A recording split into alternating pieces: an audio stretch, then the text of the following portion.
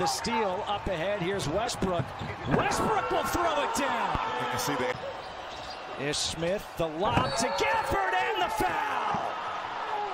Go, go, Gafford.